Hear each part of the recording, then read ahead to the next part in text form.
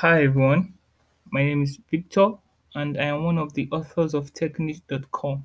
Today, I'm just going to show you how to install elinks and lynx on RHEL 8 and CentOS 8 system.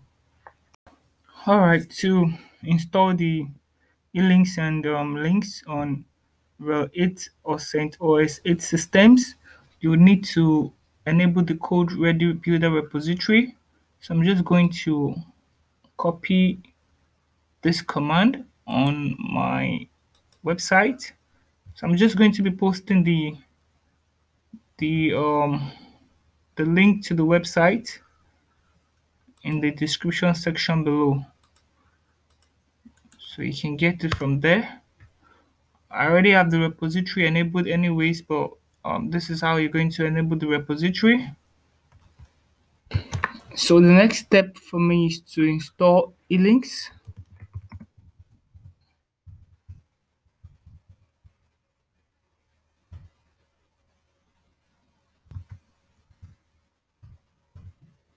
Okay, so I have elinks already installed too.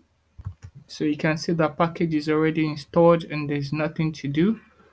So for you to install lynx, you also run the same command and um, you put um, lynx here